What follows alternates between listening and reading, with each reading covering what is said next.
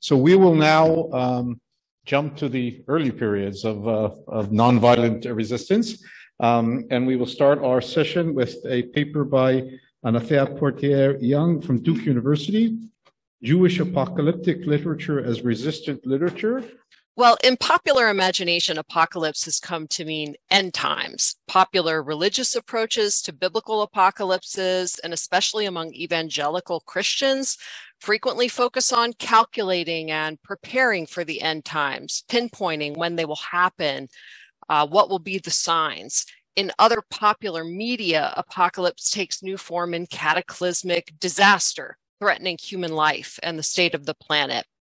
Now, modern fascination with the end of the world as we know it occupies a site where multiple vectors converge. The recognition of powers beyond our own, the recognition that human power structures how we interact with the natural world, how we interact with one another, that these are not sustainable. And in the face of these recognitions, we could name the vectors of fear, desire, resistance, and hope. Fear of destruction, disease, loss of life and freedom, desire for a better world, for justice and prosperity, resistance to powers of oppression, to seemingly inevitable forces of destruction, hope for redemption, life beyond death and destruction, and salvation. Now, how we came to associate these fears and hopes with apocalypse owes in part to the remarkable creativity of ancient authors who transmitted their own, sometimes cataclysmic visions within a literary form or genre that first emerged in the third century BCE and became increasingly popular within both Judaism and Christianity in the centuries that followed. Now, for a time, the book of Daniel composed around 165 BCE, was believed to be the earliest ancient Jewish apocalypse. Manuscripts discovered in the 20th century enabled scholars to recognize that Daniel was not the first apocalypse, nor was it as bizarre, unusual, or marginal as it had previously appeared. We will, however, see that it is distinctive in a way that's very important for this conference in its advancing of a program of nonviolent resistance. But we're going to contextualize that uh, within the broader landscape of the ancient apocalypses. So Daniel was found instead to be one exemplar of a genre that first took shape in Judea in the Hellenistic period, likely beginning in the third century BCE. So slide four uh, shows the major ancient apocalypses from the period of the genre's first emergence to the first century CE. Slide five, the genre arose in response to a cultural and political moment characterized by extreme violence and rapacity on the part of the generals who succeeded Alexander the Great and battled each other for control of various portions of his vast empire. And this was an era marked by continuous warfare and military occupation. In that period, conquest created empire, ongoing military activity, occupation, taxation, tribute, and colonial power maintained it. Judea and surrounding territories were prized and contested spoils of war. Slide six groups these major ancient apocalypses in relation to a series of catalyzing events and circumstances. Now, the earliest apocalypses did not merely take shape within this landscape of imperial violence, they resisted it. Their writers were not, as previously imagined, hiding behind anonymity, nor did they detach from reality.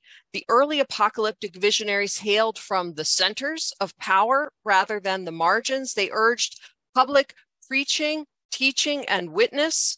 They aimed to convert a wide audience to a message of hope. They sought to transform and heal imaginations that had been colonized and traumatized in empire's wake. And they did not seek to escape painful and devastating realities, but engaged them head on. And to understand how apocalypses resisted empire, we'll first want to have a shared understanding of what an apocalypse is. Uh, on the next slide, Uh, in 1979, a group of scholars in the Society of Biblical Literature Genres Project articulated a definition of apocalypse as a literary genre of revelatory literature with a narrative framework in which a revelation is mediated by an otherworldly being to a human recipient, disclosing a transcendent reality that is both temporal, insofar as it envisions uh, eschatological salvation and spatial insofar as it involves another supernatural world.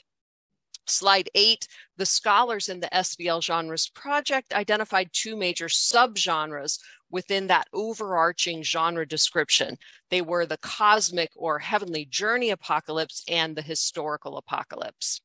As we consider ways that the early apocalypses resisted empire, we must recognize ways that empires claimed to order the world.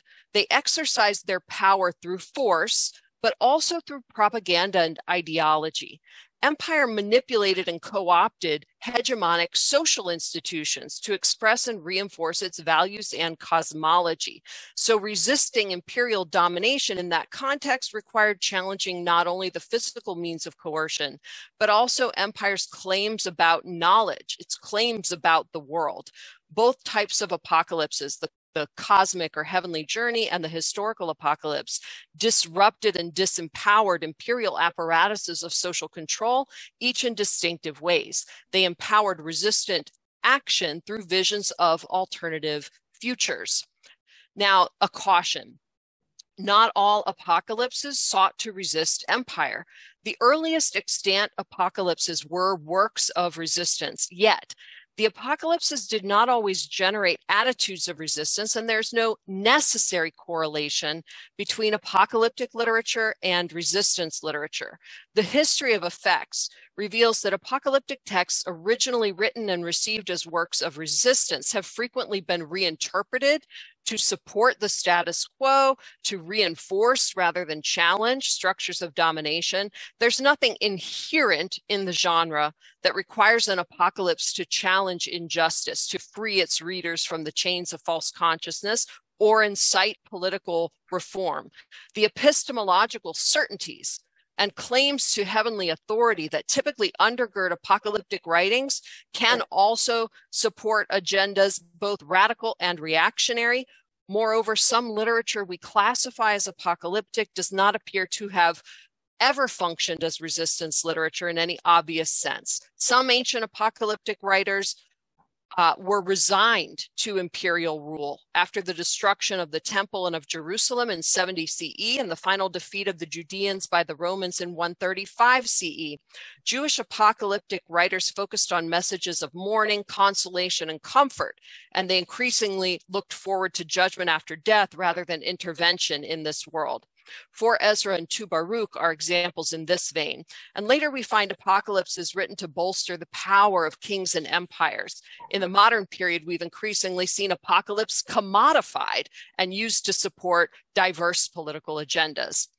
On the next slide, uh, we'll say a few words about resistance. Resistance frequently conjures images of armed rebellion or organized protest. In her seminal work on resistance literature, Barbara Harlow locates such literature within an organized collective movement that engages in two struggles simultaneously one for political liberation and social transformation, and the other struggle over the historical and cultural record. Yet resistance is a wider phenomenon even than this. Political scientist James C. Scott studies forms of everyday resistance that allow practitioners to gain or maintain privileges, goods, rights and freedoms in a system of domination in which they have little ascribed power. In the book of Exodus, for example, we might think of the resistance of the Hebrew midwives or Moses' mother and sister as examples of everyday resistance that precede and set the stage for the later Exodus from Egypt. On the next slide, resistance in any form cannot be understood apart from power. J.M. Barbalet emphasizes the structural relationship between power and resistance in his definition of resistance as those factors which, in limiting the exercise of power, contribute to the outcome of the power relationship. He understands power in terms articulated by Max Weber as, quote, the probability that one actor will be in a position to carry out his own will despite resistance, regardless of the basis on which this probability rests. We'll go to the next slide. Power alone does not provide an adequate frame for understanding the objects and aims of resistance and resistance literature, particularly with regard to these ancient apocalypses. Resistance emerges within and responds to domination and hegemony. Domination can refer to directly political, economic, or physically coercive forms of social control. Examples include conquest and plunder, slavery, torture, military occupation, as well as exploitative economic practices. Hegemony refers to social and ideological structures that create and maintain conditions of subordination and to the strategies and actions that aim to establish, maintain, or augment these structures.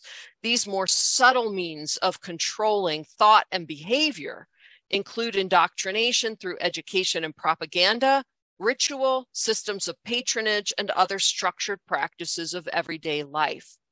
On the next slide, we might think about the ways that state media function in totalitarian regimes. Today, propaganda distributed through radio, TV, flyers, education. In the ancient world, regimes lacked access, of course, to electronic media, but still projected their propaganda through monumental art, coinage, slogans, education, and more. Such propaganda projects what we call a totalizing discourse, a narrative about the world that says that's all there is. The power is absolute. But if totalitarian state media have the power to constrain, other media have the power to free the imagination, giving the lie to these totalizing claims and asserting that different realities, different futures are possible. Literature that aims to limit, oppose, or reject hegemonic institutions and cosmologies and systems, strategies, and acts of domination can be called resistance literature. Next slide. The earliest examples of the genre apocalypse were preserved in a collection known as 1 Enoch, the Enochic Book of Watchers, likely composed in the third century BCE, resisted imperial violence through discourse, refracting politically charged Hellenistic myths such as the Gigantomachy battle between giants through native traditions and employing a strategy of symbolic inversion to critique the warring rulers, generals, and armies of the Hellenistic empires. Its narrative of Enoch's heavenly journey, moreover, countered imperial practices of map making, imperial ideology of dominance with alternative geography and alternative cosmology. Next slide. A period of intense religio political crisis in the early second century BCE gave rise to a further development. The apocalypse is composed in this period, namely the Enochic apocalypse of weeks, and Book of Dreams and the Book of Daniel continued to resist imperial violence through critical discourse. But that discourse also articulated models, visions, and programs of resistant action. The Greek word apocalypsis refers to uncovering what is hidden, using the image of removing a veil, bringing knowledge from darkness into light, or unsealing a scroll that was written long ago. Next slide. Thus, a key feature of apocalypses and apocalyptic literature more broadly is that they aim to reveal what is hidden. That hidden knowledge might be an alternative interpretation of the past or a view of present realities that lies beyond ordinary powers of perception. It asserts a heavenly reality, normally hidden from view, that powerfully shapes events on earth. It asserts that appearances on earth are deceptive and removes this purported mask to reveal the hidden and frequently monstrous character of Earth's powers. It also aims to reveal the hidden activity of God and God's holy ones on Earth. Next slide. The historical apocalypses also purported to reveal knowledge about the future, both the course of events God had ordained and the choices and future that God would open up for God's people and for the world. This knowledge was not meant to induce a stance of passive waiting, but rather was meant to shape human action and clarify choices in the present and future. Next slide.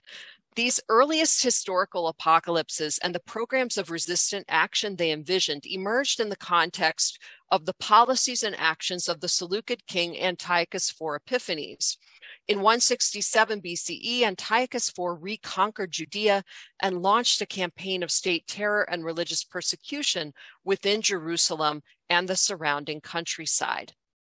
On the next slide, we see the book of Daniel, urged a program of nonviolent resistance that emboldened, terrorized, and persecuted Judeans to hold fast to their covenant obligations, to stand firm in the specific practices of their faith, and teach others to do the same, and even to die as martyrs in the face of persecution. And on this slide, you see some of the key points that this book makes, uh, uses the language to be strong and take action, but that action is defined as teaching, it's defined as leading others to righteousness, uh, a willingness to experience martyrdom in order to achieve atonement for the people.